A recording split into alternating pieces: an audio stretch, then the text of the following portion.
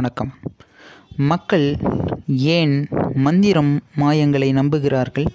சமீபத்தில் அஸ்ஸாம் மாநிலத்தில் நரபலி இடுவதற்காக கடத்தி வைக்கப்பட்டிருந்த நான்கு குழந்தைகள் காவல்துறையினரால் மீட்கப்பட்டிருக்கிறார்கள்.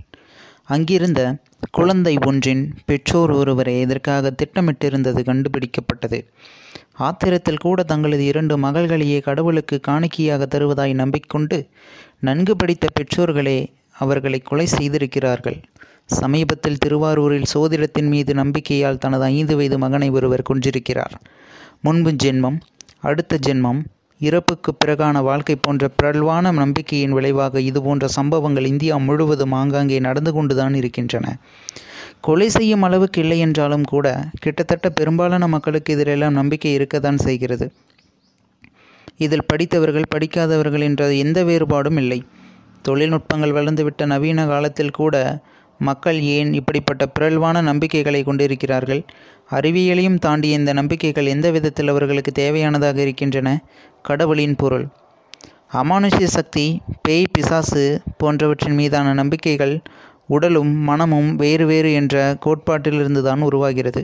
அதாவது மருத்துவ அறிவியல் வளராத காலகட்டத்தில் மனம் என்பதன் மீது ஏராளமான புதிர்கள் இருந்தன.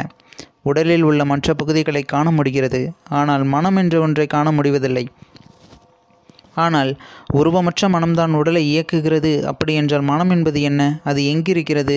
யாருடைய கட்டுப்பாட்டில் இருக்கிறது? என்ற கேள்விகள் எழுந்தபொழுது ஆன்மீகத்தின் ஆன்மீகவாதிகள் மனதை கடவுளின் பொருள் என விவரித்தார்கள்.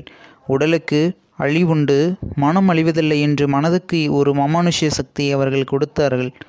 அழிவற்ற மனம்தான் ஆன்மா ஆவி என பல பெயர்களில் அழைக்கப்பட்டு வந்தது. இறந்த ஒருவரின் உடலை விட்டு பிரியும் மனம் அமானுஷ்யமாக மாறிவிடுகிறது என்று நம்பப்பட்டு வந்தது. இதன் நீட்சியாகவே இப்படிப்பட்ட நம்பிக்கைகள் புழக்கத்தில் வந்தன. கிட்டத்தட்ட எல்லா நாடுகளிலும் கலாச்சாரங்களிலும் இப்படிப்பட்ட ஏராளமான புனையப்பட்ட கதைகள் இருந்தன. ஒரு கட்டத்துக்கு மேல் இந்த கதைகள் பெரும்பாலான மக்களால் நம்பப்பட்டு அவர்களது பண்பாட்டு நம்பிக்கையாகவும் மாறிவிட்டன.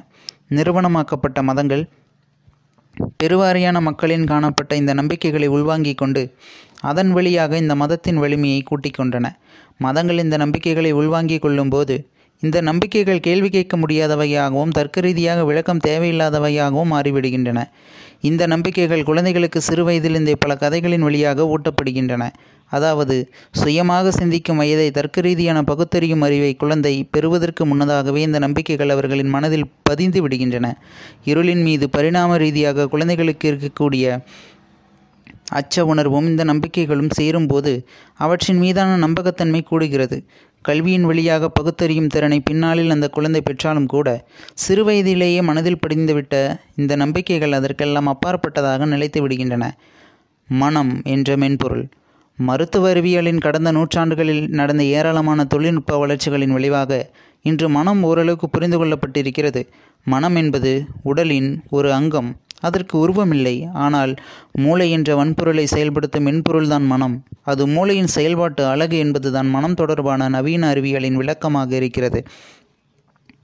மின்சாரம் இயங்கும் போது மட்டுமே மென்பொருளின் செயலை நம்மால் பார்க்க முடியும். அதுபோல சுய நினைவு இருக்கும்போதே மனதின் செயல்பாடுகளை நாம் பார்க்க முடியும். மனிதன் சுய நினைவுற்றிருக்கும் பொழுது அல்லது இறந்து போகும்போது மனமும் அத்துடன் செயல்